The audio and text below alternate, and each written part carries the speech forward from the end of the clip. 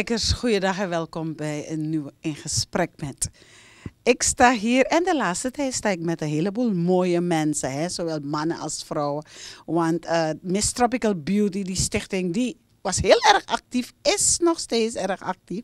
Want ook uh, via Germain uh, heb ik deze prachtige dame te gast vandaag. En dat is? Michanteli. Michanteli Lisse. Mooi. En Michanteli Lisse is prachtig en dat zien we. Natuurlijk, want ze is een mis. Toch?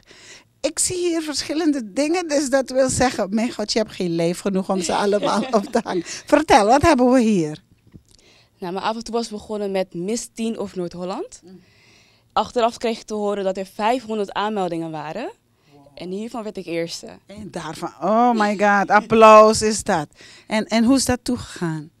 Nou, het is heel goed gegaan. Daar, uh, daarna heb ik ook uh, Noord-Holland vertegenwoordigd bij de landelijke finale. Mm. Bij Miss 10 of de Netherlands. Mm.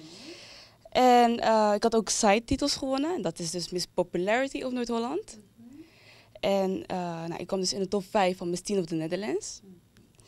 En ik was ook gekroond tot Miss Popularity of the Netherlands. -hmm. en daarna had ik, was ik gescout door 12 Months of Beauty voor Miss Grand Netherlands was hier. En toen was ik 18 jaar, was ik de jongste kandidaat. Want alle meisjes waren toen rond 21 jaar. Vanaf 21 en, en was ik 18. Maar uh, het is wel goed gekomen, ik heb goed gepresteerd. En uh, toen werd ik benaderd door Jermaine van uh, Tropical Beauties. Ja. En toen mocht ik Suriname vertegenwoordigen bij Miss Asia Pacific International 2018 in de Filipijnen. -huh. En daar, waar, waar, waar eindigde je? Heb je daar ook indruk uh, gemaakt? Ja, ik heb wel goede indruk ge achtergelaten. Ik heb ook Suriname goed vertegenwoordigd. Helaas ben ik niet in de prijs gevallen.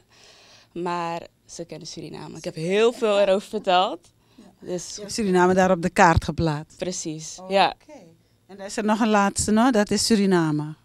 Uh, ja, dat zeg maar van Asia Pacific zelf. Dat het, niet dat je met een grote tekst loopt, maar dat iedereen weet van oké, okay, dit is Suriname. Suriname okay. Precies. Ja. Je was een waardige ambassadrice voor ons daar. En nu zie ik hier. Ja, nu ben ik finaliste van Miss Amsterdam 2019. Mm -hmm. Wanneer is het dan? Want nu ben je finalist. Wanneer is die, uh, wat is het, een, een, show of een... Ja, het is een misverkiezing. Ja, in Amsterdam. En de finale is op 21 september in Amsterdam Rai. Mm -hmm. Dat gepresenteerd wordt door Jurgen Rijman. Oh. Dat is ook heel leuk. En... Uh, ja, er doen 18 kandidaten mee. En ik ben daar één van. Ik weet al wie gaat winnen. Ze kunnen me vragen. ja, ik hoor het. En de winnaar is geworden. Toch? Ja, ik ga wel mijn best doen. Je gaat ik ga mijn best doen. Ik ga er zeker voor, ja. Okay. Nou, laat ons nu kennis gaan maken met Michanteli Lisse. Uh, geboren in Suriname? Nee, ik ben geboren in Nederland. Okay. Surinaamse ouders? Ja, dus hebben we allebei geboren in Suriname. Mm -hmm. Hoe was je jeugd? Mijn jeugd? Uh, nou ja, ik heb een wisselvallige jeugd gehad. Want veel verhuizingen ook. Uh, maar toch, mijn moeder heeft me echt geïnspireerd. Door alle moeilijke tijd uh, heb ik het toch, ja, ben ik toch uh, vooruit gegaan, ja. zeg maar. Heb ik toch mijn dromen waargemaakt. Dus, ja. Waarom de verhuizingen? Oh, heel... Ik ben nieuwsgierig.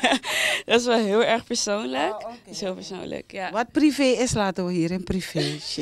Mijn nieuwsgierigheid wordt niet bevredigd. Maar geef niet. Maar in elk geval, je, je bent daar op school gegaan. Ja. Hoe was het? Uh, nou, ik studeer nog steeds. Oh, oké. Okay. Ja, ik studeer Creative Business aan de Hogeschool van Amsterdam. Mm -hmm. uh, daarnaast wil ik ook vertellen, naast alles wat ik heb meegemaakt, uh, heb ik me toch, ja, heb ik me toch wel opgepakt. En uh, mijn moeder heeft me echt geïnspireerd mm -hmm. door alles. Maar ze was vroeger ook een mis toevallig. Oh. Ja, ze was vroeger ook een mis. Oh, ja, maar dat ze er niet bij staat, anders hadden we er ook in beeld gebracht. Ja toch, want we zien van waar je de looks hebt. Dank je maar, maar, maar dus het was dus altijd je droom, hè? Om, of zeiden mensen altijd tegen je, oh wat ben je een schattig meisje, je gaat het. Of was het gewoon jouw ding? Uh, nou, voordat ik meedeed aan mijn eerste misverkiezing, had ik me, had ik me opgegeven voor uh, modellenwerk. Helaas uh, werd ik niet vaak aangenomen door mijn lengte. Maar mijn levensmotto is: Don't dream your life, but live your dreams. Yes. En dat heeft me echt krachtig gemaakt, laat me dat zo zeggen. En ehm, ja, het heeft me echt geïnspireerd. Ook bijvoorbeeld als ik keek naar, mijn naar de foto's van mijn moeder, dacht ik van, ja, dit wil ik. Ik ga, niet, ik ga het niet opgeven. Ik ga hem gewoon mijn dromen nagaan. En ik heb het gedaan. Ik heb me opgegeven voor Miss Teen of Noord-Holland en zo is mijn avontuur begonnen. En als ik zo naar je luister, het waren jouw dromen. Het is jouw droom. Want sommige kinderen, meisjes, worden eigenlijk gepusht hè? door hun ouders. Maar nee, ik zie dat je jouw droom leeft. Precies, en dat wil ik ook meegeven aan andere mensen. Van uh, natuurlijk, leef je eigen droom. Um, als, doe gewoon wat je gelukkig maakt. Doe wat je gelukkig maakt, want je leeft maar één keer. Ja, Je leeft maar één keer, maak er mooi van. Maak er het mooist van, inderdaad. Maar men zegt ook, uh, uh, uh, beauty has a price soms. Want je moet altijd mooi blijven, je moet altijd slank blijven. Ben je vaak in de gym of uh, kan je gewoon lekker alles eten? Uh, nou, ik ben een eter. ik ben een eter. Ik hou van eten. Maar natuurlijk ga ik ook naar de gym. Uh -huh. Ja, naar de fitness. Die combinatie uh, heb ik wel. Alleen um, daarnaast wil ik ook erbij zeggen van... Uh, ja, bij modellenwerk let ze echt op je lijn. -huh. Bij een mis gaat het meer om de manier hoe je jezelf presenteert. En wat voor boodschap je aan de mensen wilt zeggen. Dus uh, dat is wel het verschil tussen modellen en uh, missenwerk. Okay, okay. En neem ons een beetje mee. Die, die verkiezing, hè? nu ben je finalist. Hoe is het? Verschilt het veel van de Surinaamse verkiezingen, misverkiezingen, of is het basically the same? Uh, nou, nu doe ik meer aan Miss Amsterdam en daar heb je ook heel veel diversity, heel veel culturen. Net als in Suriname heb je ook heel veel culturen in uh, Suriname. Dus met dat is het wel uh, hetzelfde. En natuurlijk elke misverkiezing, ja, ieder heeft een eigen doel, zeg maar. En mijn doel daar is ook om kinderen te inspireren en motiveren om hun doelen na te streven. Ja. Dat is. Uh, Ze moeten naar je kijken en zeggen van kijk, zij staat daar. Ze is door struggles, mooie dingen gegaan, maar ze staat er fier en trots. Dus ik kan dat ook. Ja, ja iedereen kan het doen. Als je, als je mis wil worden of als je andere mensen wilt inspireren met jouw ervaringen, meld je gewoon aan en maak er het beste van. Ja, ja, ja. Hoe bereid je je nu voor op uh, deze verkiezing? Uh, bij Miss Amsterdam hebben we ook uh, workshops en trainingen. Bijvoorbeeld met het praten, speech. ook dans- en catwalk trainingen, heel belangrijk. Want ze willen natuurlijk wel zien hoe confident jij bent. En hoe je dat kan overdragen aan een ander. Dus ja, zo bereid ik me ook voor. Ook thuis heel veel oefenen. Bijvoorbeeld voor een spiegel staan en um, ja, tegen jezelf eigenlijk praten. Hoe gek het ook klinkt, maar dan zie je echt je ware ik, zeg maar. Dus... Ja, en natuurlijk, ja. Jij bent de woman in the mirror. Klopt, dat zei mij. Wat jij ziet, ziet de ander ook. Dus vandaar uh, dat ik zo ook oefen. En natuurlijk heb je een rolmodel, je moeder, die uh, de fijne kneepjes ook bijbrengt. Klopt, ja. ja. ja mijn moeder heeft uh, veel meegemaakt inderdaad. Maar er was altijd een lach op haar gezicht. Oh, okay. En ook, ik ben ook nu met de reden ook naar Suriname gekomen door familieredenen. Dus vandaar dat ik ook niet echt veel over Suriname gepost heb oh. op mijn social media. Maar uh, ik zie het ook bij mijn oma, dat ze toch het beste elke dag ervan maakt. Dat de gezin zo gelukkig is. Zo. En dat motiveert me ook. En dat wil ik ook graag meegeven straks ook uh, tijdens de finale. Ik denk dat je echt de inspiratie bent voor jonge meisjes die misschien een droom hebben of hadden. Maar het hebben laten gaan omdat ze denken, ik kan het niet. Jij zegt, je kan eigenlijk alles als je wil hè. Ja, ja, ik heb daar ook in gestaan natuurlijk, ook met modellenwerk. Want ik kreeg heel vaak te horen, ja, je bent te kort. Maar toch heb ik van mijn nadeel toch een voordeel gemaakt. Want ik ben elke dag geoefenen op hakken van 16 centimeter. Ja, dus uh, daarom kan ik nu ook lopen, dansen, noem maar op. En uh, ja, eerst kon ik dat niet. Ik, ging, ik kreeg blaren, ik viel. Maar ja, that's life. Zo moet je, je valt, maar je moet ook weer opstaan natuurlijk. Belangrijk. Ja, precies. En je hebt een kroontje hier? Ja, die is van Miss Asia Pacific International. Mm -hmm. En het is wel zwaar. nee, ik ben het heel dankbaar voor. Maar ik doe het niet zeg maar voor de kroon. Echt voor om uh, mensen te inspireren. Dat is echt mijn advocacy. Ja, ja, ja. En als ik zo naar je luister. Vroeger had men zoiets van... Ah, misverkiezingen, uh -uh. je weet hoe ze het riepen toch een tijdje? Ja, ik krijg het nog dagelijks te horen. ja. ik krijg het nog dagelijks te horen inderdaad dat mensen me vragen van... Uh, gaat een mis niet eigenlijk alleen maar om de beauty? Maar beauty voor mij is ook zelfverzekerdheid. En ook uh, bijvoorbeeld met Miss Amsterdam, dan uh, gaat het niet alleen om de beauty, maar vooral ook om de brains. Mm -hmm. Met Miss Amsterdam dan heb je ook heel vaak uh, maatschappelijke projecten die we uitvoeren. En ja, dat vind ik echt heel belangrijk. Dus vandaar dat ik meedoe aan Miss Amsterdam. Want mijn cameraman, dat is dus uh, de meneer die nu achter de camera staat. Hij zegt, luister, ik wil niet graag praten met beauties, want is beauties with no brains en alleen maar mooi. Jij bewijst hem nu meteen hier het tegendeel, hè? Ja, precies. Nee. Uh... en hij zegt van nee, toch?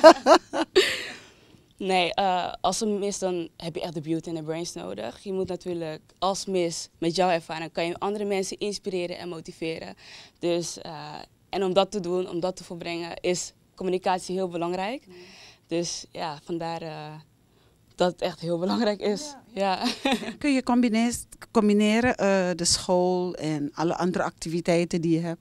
Ja, ze houden daar wel mee, rekening mee. Mm. Want het is natuurlijk dat je ook iets doet voor de maatschappij. Dus vandaar. En natuurlijk, ik studeer nu ook aan een mediaopleiding, mediacommunicatie. Mm -hmm. Dus ik heb er heel veel profijt van dat ik ook bijvoorbeeld al die workshops en al die trainingen krijg van misverkiezingen. Ja. Dus uh, ja. Dus, dus, wat wordt Michanteli later? Uh, wat ik later wil worden is een verslaggever, oh. of een presentatrice, -huh. of een nieuwslezer. Oh, collega, ja. kom aan tv, wacht op je. Ik, zou, ik zou het onthouden. Ja, ook twee jaar ja. stage lopen. Dus, uh. Je bent heel welkom hier. Toch? Hebben we meteen wat verslaggever, nieuwspresentatrice. Nou. Iets in die richting. Iets in die richting. Ja. ja. En wat, wat, wat heeft gemaakt dat je die richting hebt gekozen? Nou, ik heb altijd als klein meisje gezegd, als ik de tv aandoe, ik wil dat worden. Ik zag het nieuws, jeugdjournaal, noem maar op. Ik wil dat worden. Ja. Dus uh, dat heb ik gedaan. Ik heb wel iets anders uh, gestudeerd op het mbo. Mm -hmm. Studeer ik rechten, dus ook wel met praten. Maar ik dacht van, nee, dus ik wil echt uh, ja. dit doen. Communicatie, praten, dat is echt een ding voor mij. Ja, ja, dus je mag hier stage komen lopen en daarna kunnen we je zien. Nos, uh, een van ze. Maakt niet uit, dan kunnen we trots zijn. Ja, daar is onze eigen. Oké, okay. tot slot. Wat, wat zeg je tegen onze Surinaamse jeugdigen? Want er zijn een heleboel meisjes. En de ouders zeggen ze, nee hoor meisje, ga leren. Want uh, met uh, beauty en dat soort dingen ga je het niet verschoppen jij hebt bewezen dat het toch kan.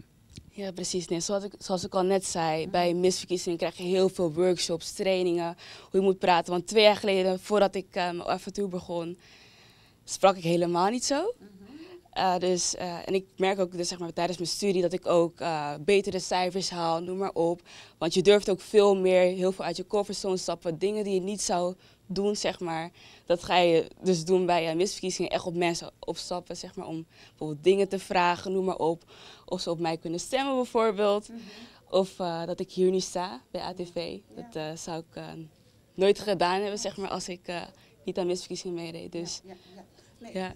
Maar als je bijvoorbeeld nu naar een school gaat en de jongeren die zijn echt pittig. Hè? Ze zeggen, waarom zou ik op jou moeten stemmen? Wat zou je tegen ze zeggen? Nou, uh, ik zou ze willen inspireren. Ik zou zeggen tegen ze van, uh, ja, noem maar op. Uh, blijf voor altijd jezelf. Be the best version of yourself. And you don't have to be perfect. You just have to be the best version of yourself. En bijvoorbeeld als Miss Amsterdam, dan zou ik natuurlijk het hun hele eer vinden om het gezicht te zijn van Amsterdam. En daarnaast zou ik ook bijvoorbeeld ja, heel veel willen bijdragen aan de maatschappij. Want dat is ook echt een ding wat ik heel leuk uh, vind om te doen. Zeg maar langs scholen, langs gaan en noem maar op. Uh, dat is echt een ding voor mij. Dus ja. ja, ja. Hoe gaat het met onze jeugd daar in Amsterdam? Want Amsterdam had vroeger ook niet zo'n positieve naam. Porfoto, dat soort namen kregen. Hoe gaat het met de jeugd daar? Nou, um, inderdaad met de jeugd... Uh, nou, ik merk wel dat er, dus in mijn tijd, dat er heel veel uh, onderscheid werd gemaakt. Mm. Maar ik merk wel de laatste tijd dat ze toch uh, positiever blijven, want er is heel veel diversity in Amsterdam. En uh, ja, er komt een verandering, dat zie je. Ik, elk jaar verandert het wel. Ja, en ze, ook er komen nieuwe wetten, noem maar op. En zodat ieder toch gelijkmatig behandeld wordt. En dat is dus Amsterdam. Nou, Michanteli Lisse. blij dat je hier uh, te gast was vandaag en dat je je ervaring hebt kunnen delen met de jongeren. Ik denk dat veel, veel van de jongeren zullen grijpen wat je hier hebt gebracht en ernaar zullen leven. Want belangrijk is dat je zegt, als je een droom hebt, ga ervoor. You're living your dreams. Dankjewel. Succes en we roll for you. Nummer 1. ik zal mijn best doen, inderdaad, tijdens de finale. Ja, je kan het bij volgen op Facebook, op de Miss Amsterdam verkiezing page. Mhm. Dan is er een livestream en neem een kijkje. Suriname, met z'n allen gaan we erop. Hopelijk crashen we het niet. Want we gaan voor uh, Michanteli Lisse, finalist van Miss Amsterdam verkiezing. En die verkiezing, die verkiezing is op? Is op 21 september. 21 september. Dus die datum houden we vast. Want we gaan allemaal echt uh, je weet toch, uh, gekluisterd zitten waar op onze mobiel, tablet, zodat we uh, jou kunnen zien als de winnares van die verkiezing. Dankjewel. Okay. Dankjewel Suriname. Suriname rules for you. En dat was het dan, het eerste deel van een gesprek met een heel leuk en open gesprek met de finalist van Miss, de Miss Amsterdam verkiezing, die op 21 september in Amsterdam gehouden wordt, toch? Ja. Ja, niet anders. en uh, zij is nu onze finalist ook, toch? Michanteli Lisse, we gaan ervoor. En we gaan allemaal hopen dat ze het haalt. Haalt ze het niet? Nou, dan is dat weer een hele rijke ervaring, neem ik aan. Ja, ja precies. Oké, en ze staat er open voor. Nou, u gaat niet weg, want straks ben ik er met een ander onderwerp. Tot dan. Zie.